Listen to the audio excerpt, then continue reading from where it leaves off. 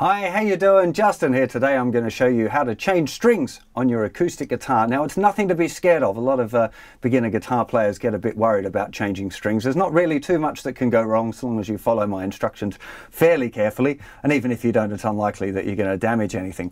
So uh, first thing actually before we start the string change, a lot of people ask when do you change strings? So uh, obviously if you break a string you're going to need to change that but generally on acoustic guitar particularly if I break one string I'll tend to change all of them just because they new strings sound a little bit crisper. So I tend to change all of them at the same time, which is what I'm going to do today. Um, normally you can tell if they're a little bit rusty. Uh, I use the, my fingernail, I just run my fingernail underneath the string and uh, when I finish looking down there, if I look in my fingernail and there's like black grit or dirt in there, then I normally change it. You can normally hear it as well because they sound start to sound a little bit dead. Sometimes you have a few tuning problems. So generally on acoustic guitar, I recommend that you change them all at the same time if you're going to. So uh, the first thing we need to do is we need to loosen off the strings to remove the, the old ones. Now uh, I'd really recommend that you get one of these little string winder cutters, okay? Otherwise you're going to need some sort of wire cutter to cut the strings. These ones ones that have got a string winder, which uh, simply just go on the peg and you can turn it. It's just a lot faster for, um, you know, getting the strings on and off. Um, so I do recommend that you get one of those. You don't have to, but uh, makes it easier. So the first thing that you want to do is loosen off all the strings. Okay, so uh, you're just going to be turning the pegs in a clockwise direction. You don't have to loosen them right off, just so they're not at full tension. Otherwise, uh, when you cut the strings, they might pop off a little bit weird. So uh, that's the first thing that you want to do is just get all of those strings nice and loose. Again, with it, you know, using the string winder makes it so much faster than uh, doing it by hand. That's why I think they're quite good value, you know. So we've got the strings nice and loose now, so they're just kind of floppy on it. Now what I do is I tend to, I use the cutter and I cut them at about the 12th fret. It doesn't really matter where you cut them, of course, uh, but I tend to go around the 12th fret so the strings are roughly the same length on, on each side of that. So next thing you want to do is take them all off the headstock. So uh, if you've done it properly, you'll have a few winds on each string. So you have to just uh, unwind them to get them off and then pull them through. Again, it's not particularly difficult. Um, but just be careful, you don't want them flying off and hitting you in the face, that's for certain, because uh, they're sharp little metal things. Um, now, this end, acoustic guitar generally has pins holding the strings into the guitar.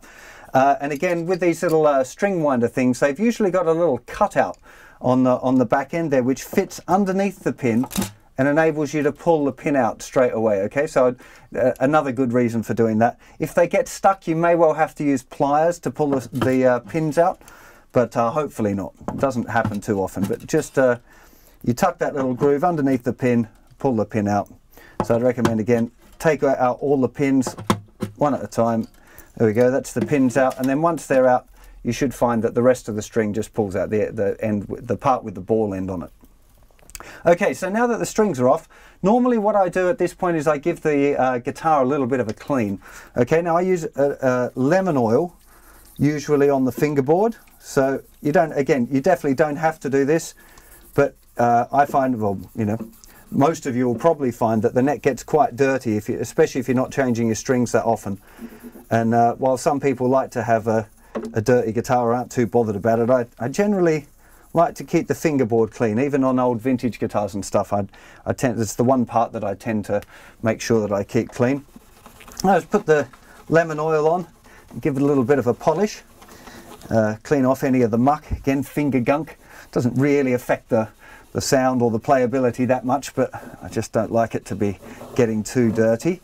Um, and while I'm just finishing doing this, a couple of other questions that I get all the time about string gauges. Um, now, on, on this for this particular uh, lesson today, I'm using 12 to 56 gauge strings, which is a medium kind of gauge. Uh, I use different gauges on different guitars, but you will find that it makes a massive difference to how easy the guitar is to play. And 12s are, on th this guitar, I tend to be uh, this is kind of like a strumming kind of guitar. I don't do stuff too technical on it.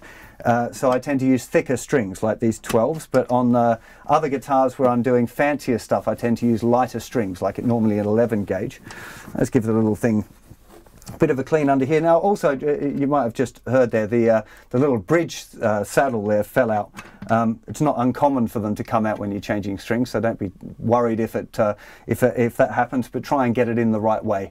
Um, if it's fallen out and you didn't know, you might be in trouble. So uh, I can tell from the the look of it myself. But if you, might want to just put a little pencil mark on the top so you know uh, which end it went in. That wouldn't be a bad little tip. So neck is nice and clean. I've given it. Actually, I forgot to give the little headstock a wipe as well.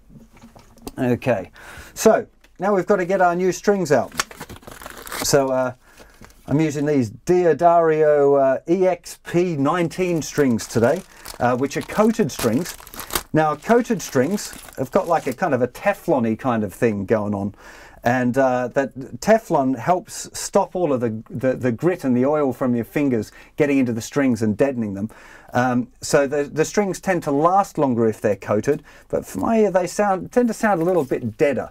So uh, you know it's just a debate between uh, how bright you want your strings and whether you want them to last for a long time or not. So uh, now I've got the strings out. Now D'Addario have this clever thing of different coloured ball ends, so you know which string goes where. So if you have a look on the on the back of the packet, it tells you what colour is where. So for this one, the brass one is the thicker string. I'm going to just start off with that one. Do be careful while you're unwinding them as well. Just uh, you don't want them kind of flying out and hitting you in the eye. So uh, the one thing that I recommend that you do at this point is to put a little kink in the string. You'll usually find it's, it's kind of a bit thicker. And I just put a little kind of L-shaped bend in the string. And the reason for that is it just helps secure the string against the, the, the string pin. So the string pins aren't normally in an order. You don't have to have a particular one. That they go in back in in any order. So I've kinked the string already. I'm going to put it in the hole and then I'm going to put the pin in the hole and then I'm going to put, put pressure down on the pin with my thumb and pull the string through, okay? And you should feel like a nice positive connection there, okay? Sometimes the pins wobble out a little bit as you're tuning, so you need to keep an eye on that and keep making sure that they press in. Um, at this point, I'm going to put all of the, uh, the strings in before we start uh, actually doing the business up the other end. Um, but again, it's just really important that you get a, a solid connection there with the uh, with the strings. Okay, what do we got? The fourth is the black one. Okay, so again, kink the string first, put it in the hole, put the pin in with the groove facing the neck, and then pull it up. Okay, kink the string, put it in the hole, put the pin in, hold the pin down, and give the string a little bit of a, a yank through. Okay, you don't need to be too violent with it, but you know, give it a good solid kind of a, a plug. Okay, purple is the B string, and there's the E string as well. So we get the B string in, plop it in the hole, put the pin in, pull it through, and the last one, I got the kink already, put the pin in, and pull it through. Okay, so now we're more or less sorted there. Like I said, sometimes when you're tuning, you'll find that the pins start to pull out a little bit. Doesn't really matter, just push it back in, okay? It will start to grip itself. Now, what I normally do, the way I'd normally do it, I'm going to do it slightly different because I'm just show, I want to show you a close-up of the headstock. I'm going to do the first string in this wide and then I'll do the second string with a close-up. I normally put the strings like that through my legs so I've got them there and I lean the guitar up against my leg so I've, I've, I've got easy access to what I'm looking at here. It's nice and close. Some people prefer to do it with the guitar laying flat on a table. Uh, it's really up to you. It, doesn't make a big deal of difference, I guess. Um, so now I've got the string. And like I said, I'll do a close-up for you in a second. So normally I get the string so the hole is pointing up away from the guitar. I feed the string through and I pull it so it's pretty much all of the way through. Then I grab the string and I pull some slack through, okay? And how much slack you pull through is kind of a little bit of experience. I'm going to show you roughly how much I'm pulling through for each of the strings, but, um, you know, a couple of inches, I guess five centimeters-ish. Now what I'm going to do is I'm going to wrap the string around the top of the peg and then I'm going to hold it close onto the, the guitar. And you can see now I've created this little lever to create tension. So I've got my first finger pressing the string down on the neck, and I'm using my second finger to keep a little bit of tension on the string. Just helps it go on easier. And we want all of the future windings to go under the slack part, the dead part of the string, okay? And again, this is where string winder comes really in handy because now I can just keep that tension on, wind it on, making sure that the string, the live string, okay, which is the part that we're going to play on, is going underneath the slack each time, okay? It's a really big deal that it's, it's important because it kind of locks the string in, okay? You're not going to damage anything if you don't do it that way, but it just helps keep the string in the right place and keep it in tune. So then when it starts to get enough tension, I've just put it in the right part of the uh, of the nut there. Now already I can see down there that the pin is starting to push out, so I'm just going to push that back in again. There we go. You're not trying to get it in tune yet, I'm just adding some tension to it, okay? And then normally straight away at this point, before I start doing anything else, I cut the, the slack of the string off. And normally I leave just like maybe a centimetre. I don't like having the strings kind of laying out all over the place. Some people, again, like doing it that way. It doesn't really matter. Okay, let's go, excuse me, let's go to a close-up and I'll show you that uh, putting the string on with a close-up. Okay, so the first thing I'm going to do is I'm just going to turn the tuning peg around so that the hole is facing directly up. Okay, then I'm going to feed the string through the hole and pull it all of the way through. Okay, so we've got there, you can see the string is going straight through the hole. Now I'm going to drag, grab the string here and I'm going to pull through about five centimeters of slack. Okay, it doesn't have to be a whole lot, but roughly that amount I rec would recommend uh, for a start. You might want a little bit more than that for the thinner strings. Okay, now I'm going to wrap the string around the live part. Okay, so I've got the, the slack at the top and the live part of the string at the bottom. The first thing I'm going to do is wrap the string around the top of the peg. Okay, and you can see now my thumb is holding that string right down. Okay, it's really important. Again, you could use your first finger there if you wanted to hold that string down. Now what's going to happen as we turn the string, the, the live part of the string is going underneath the dead part. Okay, so here's the dead part of the string now coming around and you'll see that it's now going, the live part is going underneath. Okay, again, there's the, the dead part of the string, here's the live part of the string going underneath. And what that does is creates a little bit of a lock between the top wrap, which was the first one we did, and the live string, which is underneath.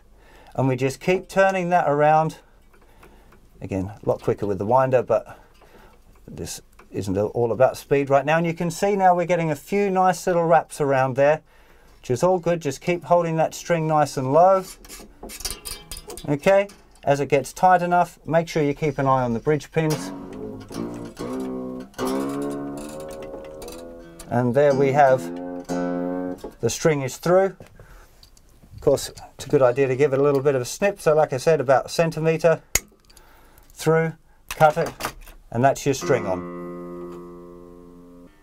Okay, let's do one more as well. So first thing, let's uh, turn the peg around so the hole is pointing directly up. Feed the string through the hole. Okay, pull it all of the way through. Grab it near the peg, pull it back so you've got five centimeters, maybe a little bit more for the thinner strings. Okay, then again, now this time we're going to wrap it around counterclockwise because we want the string coming inside of the peg. Okay? So we've wrapped it around over. So at this point that the, the live string, the actual part that we're going to play, has gone over the dead part. Okay, that's a really big deal. Now again, we're going to be turning the peg around. Okay, just get that dead part out of the way. Again, I'm trying to keep a bit of tension on the string. You can see that I'm using my thumb this time, but I'm just trying to keep it really low and now the live part is going underneath. So here's the dead part of the string and that is above, okay? It's going, uh, yeah, the, the dead part is going above the live part of the string. And again, we just keep on holding that string down so that all of the winds will kind of feed up underneath and help lock that string on, okay? Just keep on winding. Okay, it takes a little bit longer. Again, we're not in a particularly big hurry. But Here we go. Just keep on winding, trying to keep the tension on if you can. You, can. you can't really see it now, but I'm doing this in a guitar stand, which is also not a bad way of doing it. Just popping it in a guitar stand while you're changing the string. A bit easier for me doing it sitting down, but it doesn't really make any difference. Okay. Uh, just put that in the wrong one. There we go. That's better. Again, watching out for the peg. It's just popped out a little bit. Keep winding a little bit. Once you've got a bit of tension on, snip off that excess string and we're good to go. So once all your strings are on, it's time to try and get it roughly in tune. Okay, so we're not after getting it exactly in tune yet because we still need to stretch it. So uh, just use your tuner and get it so it's the right note, but don't be too fussy about uh, you know getting it exactly exactly in tune. Do keep an eye on the pins. If they start to pull out, just uh, you know push them back in.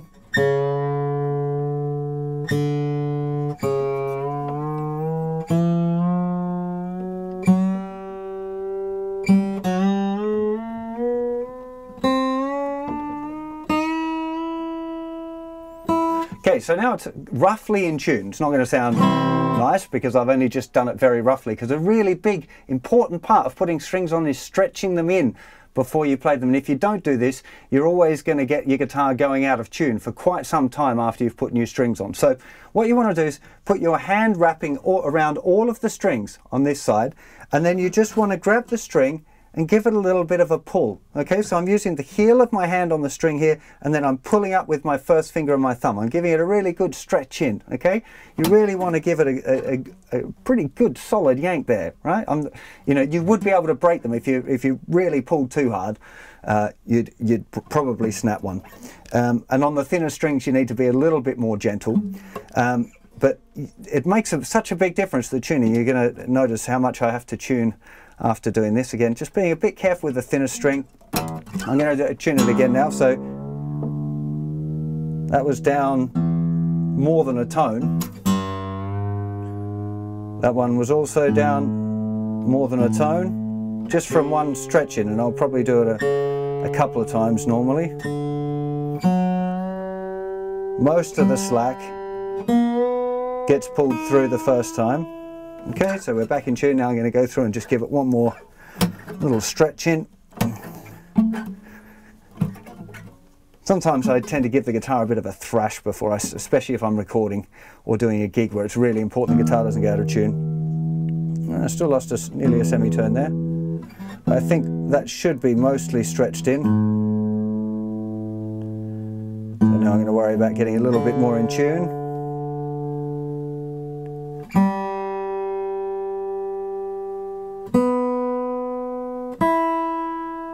Yeah, E and the B string hardly moved at all. And, uh, yeah. Still needs a little bit of tweaking. So don't be too disappointed if your guitar goes out of tune a little bit when you first put new strings on. It does take a little while for them to kind of settle in a little bit. But again, do, making sure that you give it a good stretch should sort out most of the problem and it should only require a little bit of tweaking. So uh, I hope that gives you the confidence to change your own strings and I'll see you for plenty more lessons very soon. You take care of yourselves. Bye-bye.